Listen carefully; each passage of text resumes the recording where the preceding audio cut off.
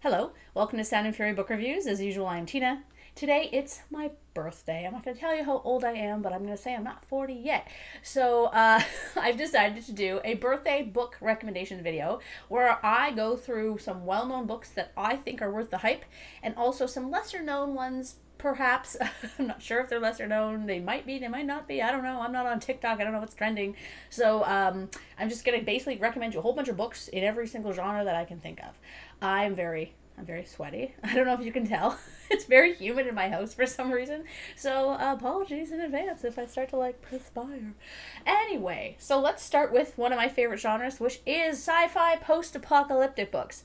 Obviously, I'm going to recommend The Road. If you have not read The Road, you should. It's absolutely fantastic. I'm going to try not to say absolutely fantastic about every book. I'm going to try to keep it to like maybe five times I say that. But no, this book is momentous. It's father and son story, which is normally not my jam, but you know, it, the the love the father has for his child, the things he does to protect him, the the utter wasteland that McCarthy has created in his kind of like vague style is just so evocative, and the movie's really good too if you want to check that out. No, I, I highly recommend this book. Um, I also recommend Wool. Uh, they just made a, a, show out of it, which I thought was actually really good on Apple TV. But this book is really, really fun. I wasn't super into books two and three of this trilogy, but this first book is awesome. It follows uh, this engineer. Uh, she's been called up to basically become the sheriff of this silo like bunker, and there's some control happening here. It's, it's really, really well done. It's really it's big, but it's like a really fast read. It's, it's kind of more of a thriller than anything. It's, it's really good. Uh, now, I don't know how popular this book is, but I really loved The Sea of Rust. It's about a robot apocalypse, uh, but after all the humans have all been dead. And you go through it being like, oh yeah, one of them is going to find a human at some point. No, no, that doesn't happen. This book is solely about robots, and there's a badass robot. She's amazing, like main character, and then there's also a uh, like sniper kind of heart of gold robot. I don't know. it's so much fun. There's raider robots. It, it's a blast. It's a blast. Highly recommended.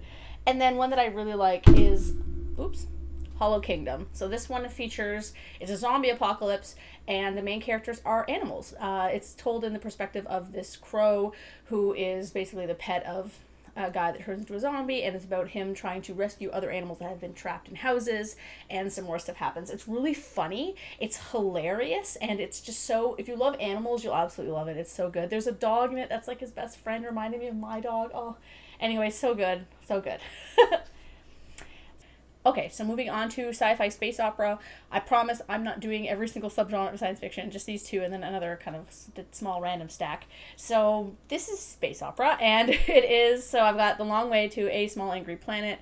This one is a lot of fun. It's like a found family story of this kind of group of workers who are going to make create a wormhole passageway and kind of how they get there and the things that happen on the way. It's very character driven. There's a lot of alien human romance in it, which I like.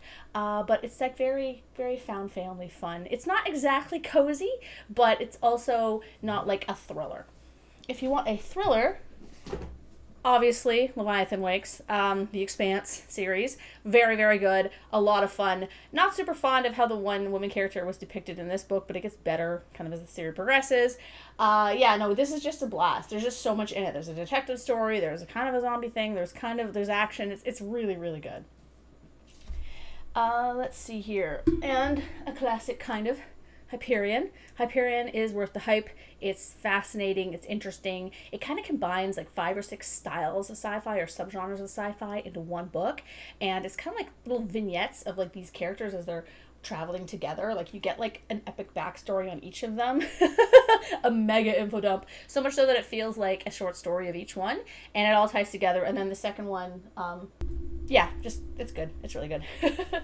Uh, for ones that you might not have heard about, you probably heard about this one because I reviewed uh, the third one the other day. But this is Tenlo. It's a sci-fi western. It's kind of a space opera in that it deals with you know space conflicts and things like that. Uh, but it's about this medic. She used to be in the army. She's kind of living on this desert moon that is very Western feeling, kind of Firefly feeling in the sense that it's kind of run down. There's technology, but it's like limited, things like that. And she stumbles across this girl who's been in a spaceship crash, but the girl is actually like a augmented super soldier general from the army, and so she has to decide whether to save her or not. And it's really fun. The dynamics between the two characters is great.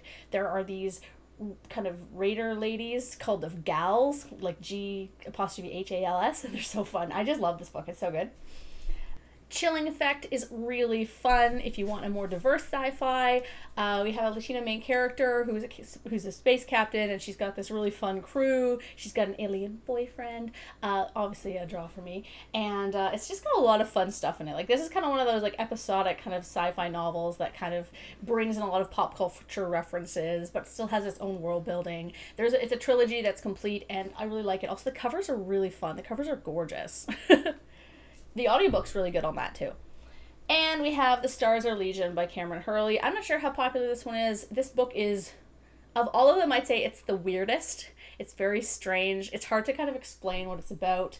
Uh, decaying world ships, they're traveling. Um, there's a person that wakes up with no memory. She thinks she's on the wrong ship. All this stuff. There's a lot of interesting, kind of weird stuff. A lot of body horror in this. Uh, really, really good. So now I have some other sci-fi. So if you have not read Annihilation, I highly recommend it. I absolutely loved it. I there's a lighthouse in it. I love lighthouses. There's kind of a it's a squad of like four women all in STEM, and they go into this weird area where all this strange stuff is happening. Uh, there was a movie made out of it with Natalie Portman. I thought the movie was a good adaptation, but the book is uh, a little different. And then the second two books are equally good. It's it's one of those books that you're not really sure what it's about, but it's like really interesting and fascinating.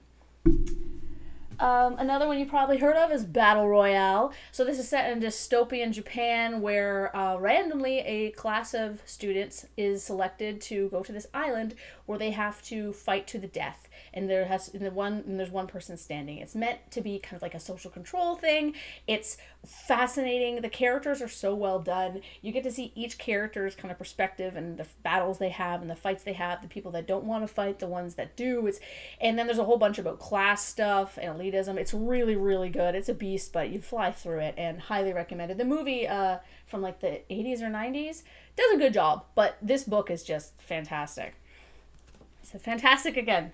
I've probably said it more times I didn't even notice. Ancillary Justice. This is a great one. This probably should have been a space opera, but this one it's hard to describe too.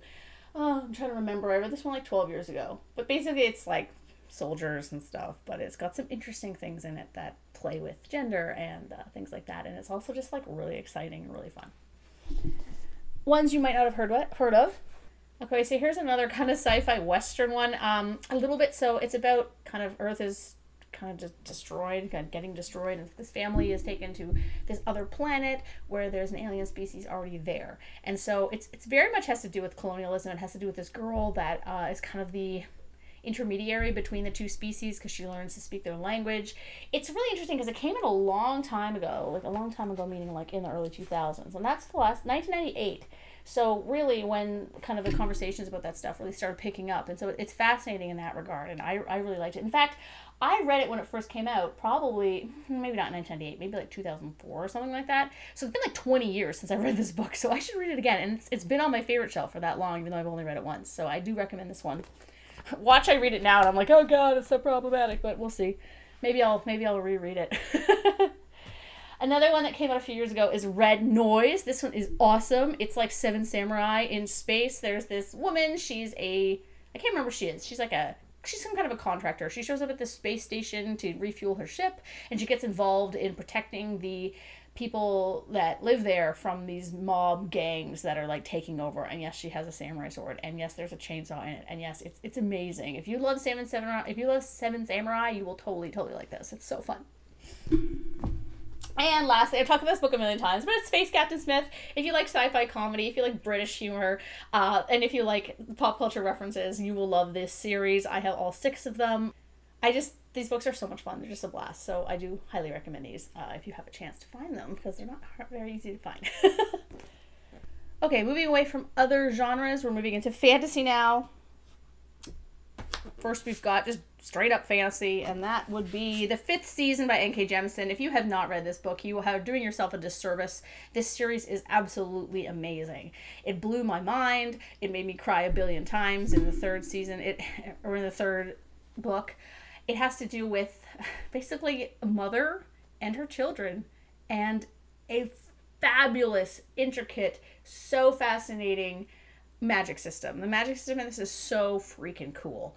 And I just I just loved it. And her writing style is just I, I flew through this. It's so good. I want to reread it.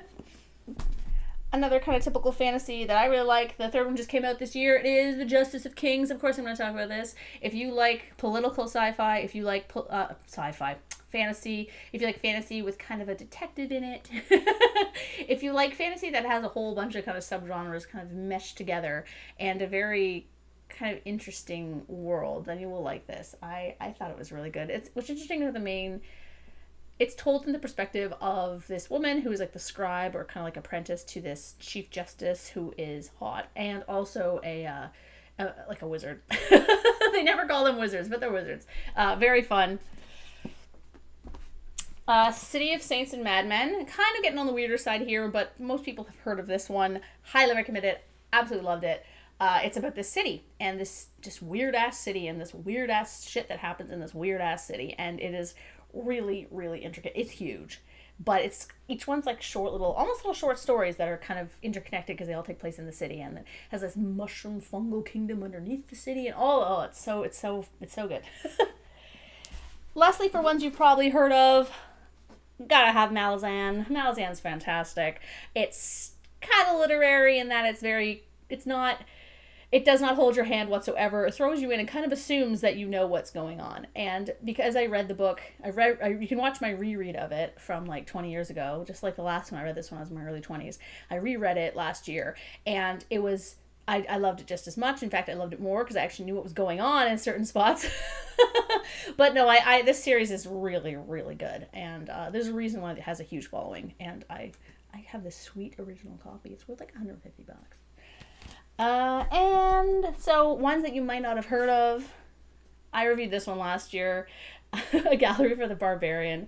This book is wild. It's about this undead painter who follows around this barbarian who is his muse, and they just get into some wacky adventures together. It's very much a sword and sorcery fantasy. It's self-published. Does not read like it's self-published in terms of kind of having typos and stuff. It's it's a very well put together book. Uh, it's Canadian, and uh, yeah, I I loved it. I, I the cover is what drew me in, and um, yeah, no, I ended up buying it after reading it on ebook because I loved it so much.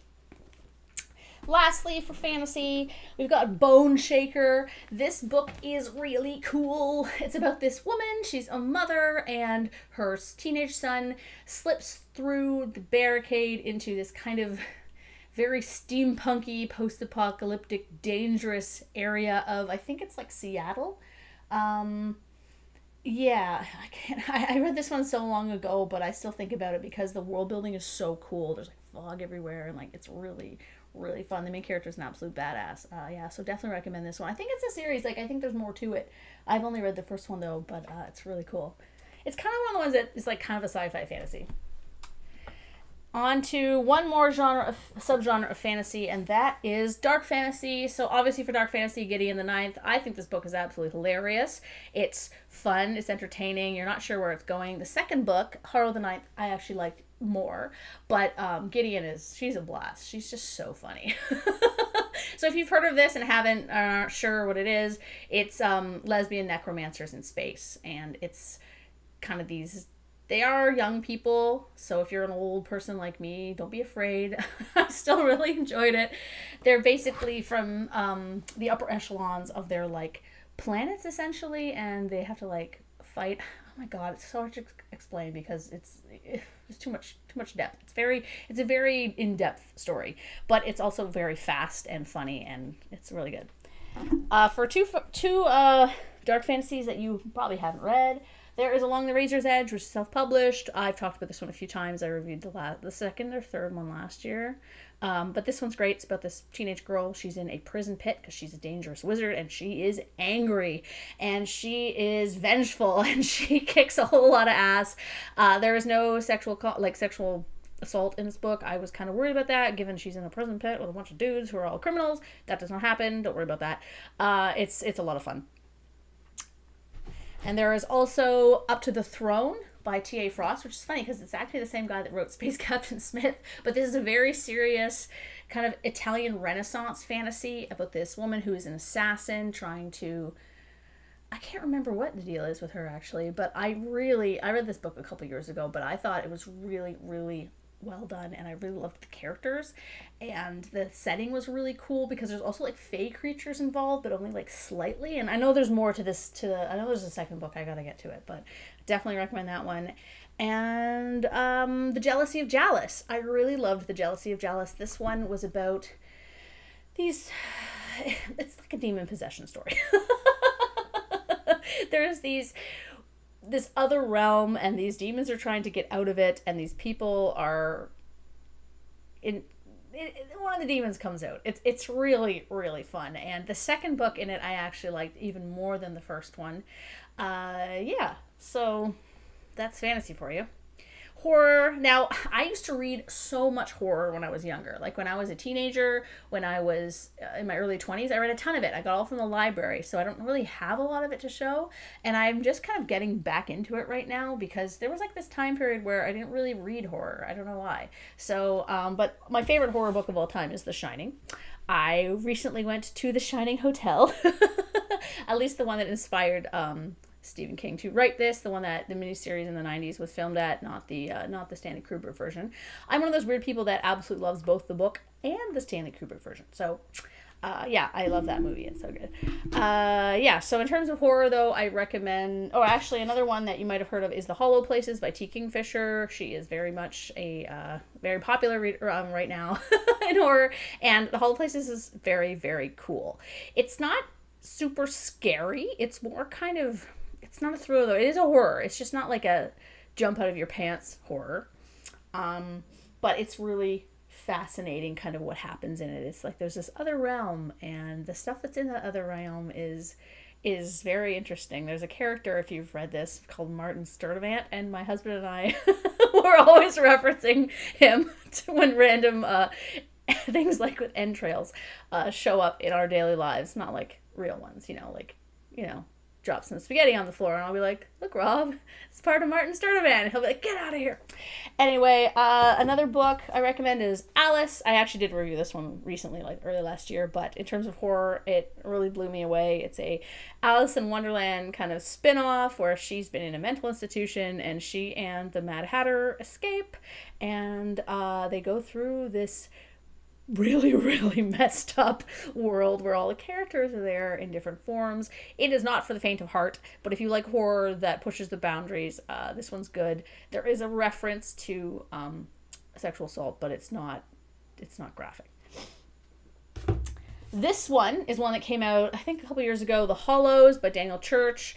It is a folk horror about a town that is besieged by basically by monsters, but also this other kind of rough side of the tracks family and so it's a really interesting kind of the dynamic because you have the townspeople and you have those people and then you have what's happening to those people. It's one of those like isolated town under attack stories and uh, it's set in the winter which is which is cool. I always like winter stories.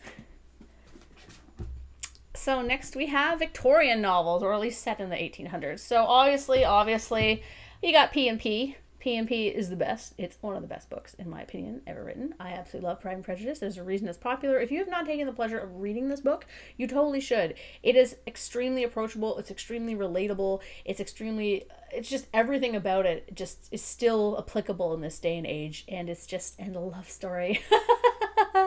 yeah, there's a reason why Mr. Darcy is like on everyone's uh, to tap list. Um, also, you know, Emma. Emma's a good one if you want another Jane Austen. I'm not going to go into these too deeply. Jane Eyre is one most people have heard of. Definitely, definitely worth reading. Same thing. It's got a, it's very easy to read in this day and age. It's even though you know it's obviously a, the language is a bit archaic. It's not, it's not too bad. Like I read this book when I was like 13 and I understood it, so I think you guys can handle it. Uh, no, it's really good. This copy is terrible though. Little Women is fantastic. It's one of my favorite books. It's so good. Um, if you have seen the Greta Gerwig version or the '90s version with Winona Ryder in it, um, definitely read the book. It is very similar. It's it, those movies take almost directly from the book, but it's just it's so like wholesome and sweet and it's about sisters and like if you want something that's kind of like gonna make you cry because obviously you know spoiler alert a character dies but cry in the way that you're like i love my family like it's it's definitely it'll definitely do that to you Now, three books you might not have read if you've read a few classics, not classics, uh, like 1800 novels. Thomas Hardy is my boy. I love Thomas Hardy. He's an ally for women. All of his female main characters have great depth, and most of his books are kind of arguing about how life was shit for women in the 1800s, and I like that about him. Far from the Madding Crowd is about a, um, a dude and a woman, and they both just want to live outside in the countryside, and it's about kind of the the struggles that uh, come about when you try to do that. Um, but also like there's the you know the interpersonal problems with the people in the town and stuff. And the love story is really good in this one too.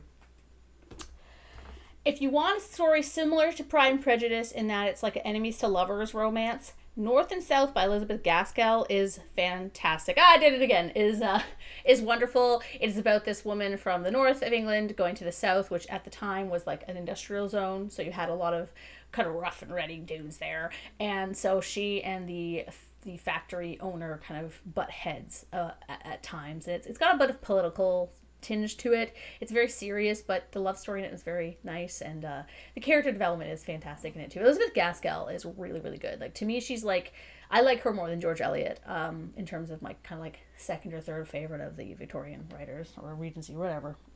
that era. And The Women in White is really good by Wilkie Collins. This one is a ghost story, kind of, it's more of a mystery thriller. Uh, yes, a mystery thriller, and it's about a, um, a woman in white. No, it's about um, a guy that goes to stay at this mansion and there's two sisters there and there's just it's it's there's a lot for me to describe about this. Um, yeah, it's it's it's kind of a gothic horror as well. It's it's it's cool. It's very cool. Next we have classics. So if you have not read Proust, try it. I have not finished it. I have read four volumes out of the six. I just really, really, really hate the narrator in book five, and I'm having I'm having some difficulty, you know, caring about him. So I kind of took a break. But the first book and the second, actually, I think the second book, uh, like usual, the second book tends to be my favorite of everything. But no, if you haven't read Proust, give it a shot. It's not that long, and I mean, yeah, it is a lot of him describing mundane stuff, but it's it's just it's such a different way of reading. It's a different way of kind of thinking about what literature should do that I just think that it's it's kind of a mind expanding experience because it's a lot different than the books we read today.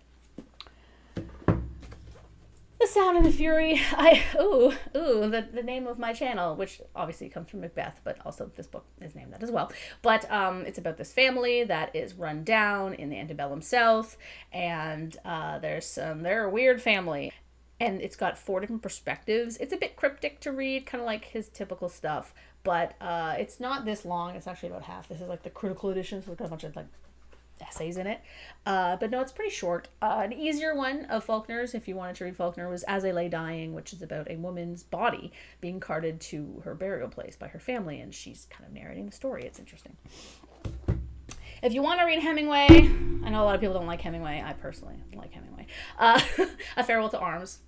I cried so much at the end of this book. People think Hemingway is all like, oh, I'm a manly man, blah, blah, blah. But his stories are actually about a lot of emotion and they're about, you know, this book's set in World War One. It's about a man basically having his his soul ripped out of his body and then having it ripped out again when something else happens to him and it's just it's a tragedy and it's a it's a very well done book if you really want to jump into a Hemingway. I like this one better than um, For Whom the Bell Tolls. Uh, yeah. Watership Down. this book is a classic to me. My dad used to read this book to me, and I love it. If you want to read something that's obviously an allegory, but it deals with cute little bunnies that tear each other to shreds, then you should totally read this book. It, it's really good. I don't I don't know how else to describe it. It's about bunnies trying to find a new home. It's obviously about deeper themes than that, but that's kind of like the that's what I thought it was about when I was twelve. The Master and Margarita this book is so wild.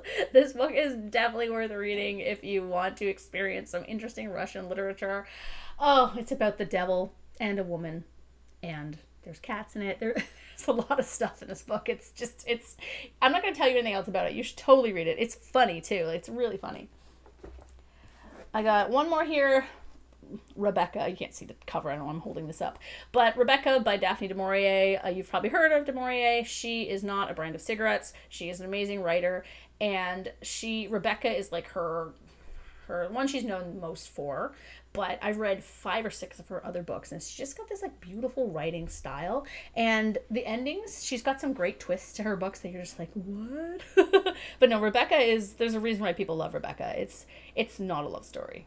It's something else.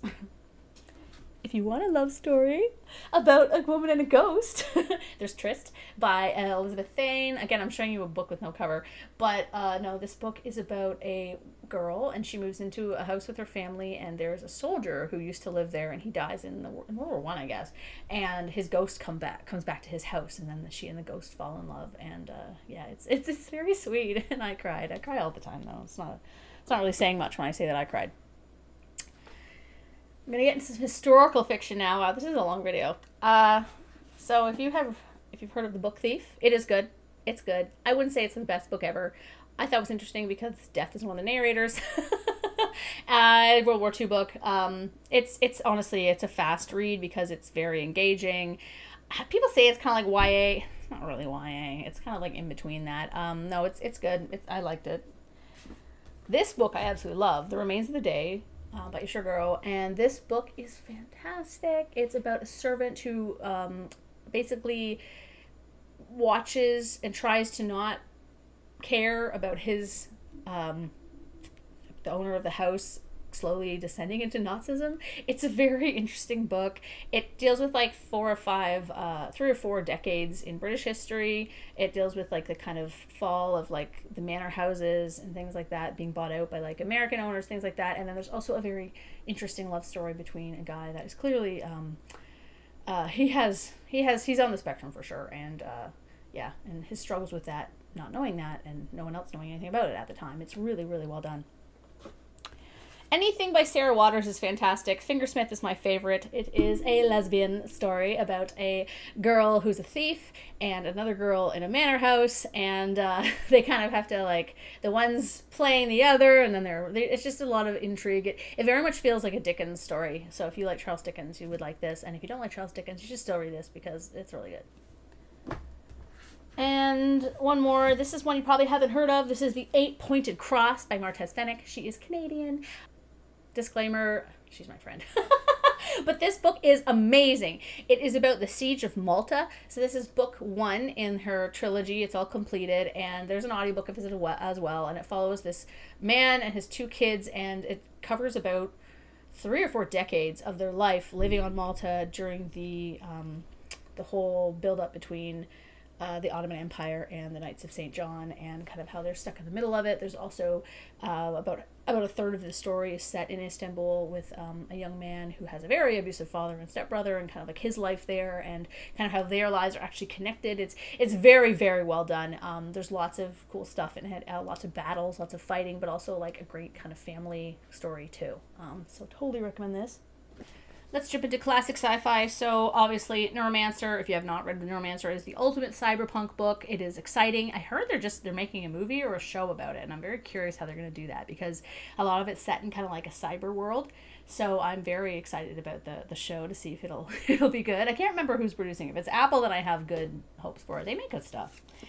Dhalgren by Samuel Delany. Anything by Samuel Delany is amazing. Nova, Babel 17, um, The Fall of the Towers. I really like that one. And this one is about a city, a very strange city. It's long.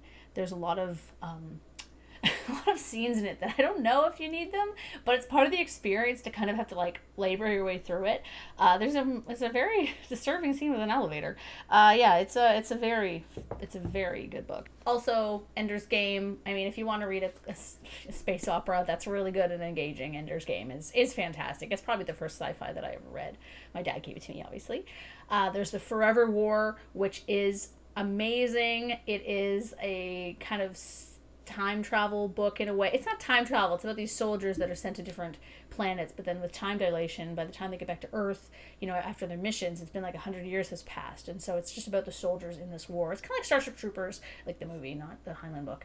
Um, in that you really care about the characters, and the war they're fighting feels very, you know, it's not really a just war. I've got four recommendations for you for classic sci-fi. Um, Jade Darcy and the Affair of Honor. Good luck finding this one, but uh, it's about a woman bounty hunter um, coming into her own, realizing who she is, and making a female friend. Female friendship, yay! We All Died at Breakaway Station. I reviewed this one last year. I was on the hunt for this book for quite a long time at used bookstores. I finally found it. It fell apart when I was reading it. That's okay. This book is wild. The aliens in this book are messed up. Uh yeah, this this book is mind-blowing to be honest. Star Rigger. If you want something funny, Star Rigger is a blast. It's about a space transport truck driver, and there's it's a trilogy. It has an amazing selection of alien characters. It has some pretty funny other characters as well. It's it's just fun. It's fun. I mean, it's a spaceship. It's a space truck. It's not meant to be serious. And armor. This book is another kind of military sci-fi book, but it's it's just it has a lot of interesting depth and world building to it, and the armor is a big part of the story. It's uh, I'm not going to kind of describe it too much, but if you can find this one, definitely check it out. All right, we have contemporary fiction next. So uh, if you've heard of The Hours, it was a movie. I think it won some some. Oh, this also won the Pulitzer Prize. I didn't realize that, and it also won. Uh, I know I have the movie version cover. Gross. I think it won. It won Oscars or something, right? Anyway, the um but yeah, Pulitzer Prize winner, definitely worth it. I can't believe a man wrote this book, to be honest, because it's all about kind of women and their struggles. But it's really good. I really, really enjoyed it. Uh, my sister told me a funny story. They were studying the book in university, and I guess no one had caught up on the reading, and so the professor like spoiled the book, like a huge twist in the book, and everyone was like, "No!" And she was like, "Well, you should have read it on time." Uh, there's a reason you've heard of Donna Tartt, The Goldfinch, and any of her books. I also have uh, The Secret History, and I've read one of her other ones she's amazing. She's one of those deeply intelligent people. And it's funny because you read this whole book and you don't like the characters. You don't like them. But there's something so compelling about reading the book. And when you get to the end you're just like oh that's what it's about. It's a beast. But it's a beast that when you it's a satisfying beast. And it also won the pulitzer prize I don't know how popular this one is. A.S. Byatt, Possession. Uh, this book came out, I think, in the 90s, and it's interesting because it's a story of um, these researchers who are researching the lives of these Victorian writers. And it's kind of like there's poems and journals, and they have a love story that's growing as they're researching the other love story. But it's, it's, it's she's a beautiful writer. The writing is just lovely in this, and uh, it definitely recommend it. It's, it's I don't know if this one won any awards. For other contemporary novels, I have some you might not have heard of. You probably have not heard of Immortal North unless you watch my channel. this is a Canadian book about a man who lives in like off grid up in I think it's in BC and he lives completely in a cabin by himself with his son. They live completely off the land. They go into town like maybe twice a year to get like school books for the kid and things like that. Uh, yeah, and it's all about their life and a tragedy happens. A tragedy that made me cry so hard. And then there's a second book that deals with grief and getting over it and i cried so hard again.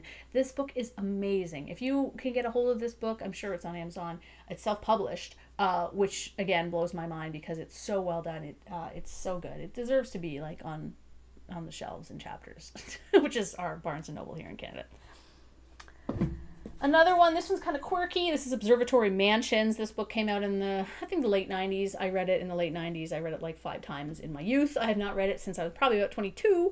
Um, but uh, this is a book about a bunch of weirdos that live in this um, apartment building. And it's if you like kind of quirky character stories, this is definitely a book for you to check out.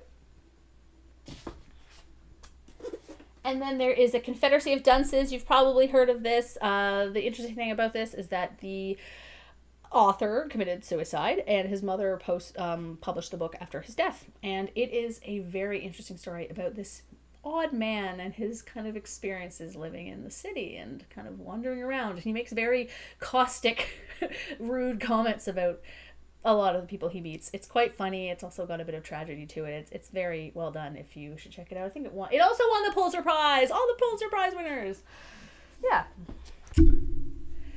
Got a couple more categories for you before my, my throat gives out here. Um, we've got thriller. Now, I don't read a lot of thrillers. I hated Gone Girl. I hated The Girl on the Train. I thought Dark Matter was stupid. The Da Vinci Code for me is extremely simplistic. I thought it was, you know, it was a quick read, but it was very kind of like.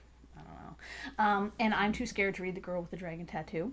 But I did like, like Mystic River, which is a movie as well. I think it's probably one of those award winning movies. I thought that was really well done if you want a thriller.